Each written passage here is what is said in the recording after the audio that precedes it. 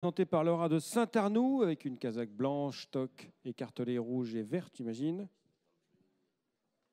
La mer épars, le, ah, le, le Green Desert. Il n'y a plus beaucoup de, de petits-fils ou de petites-filles de Green Desert dans les catalogues.